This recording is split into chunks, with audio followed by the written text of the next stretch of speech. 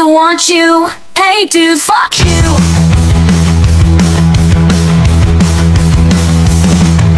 Remember when you used to comfort me? Now you are my worst enemy. Seeing you with other girls made me jealous.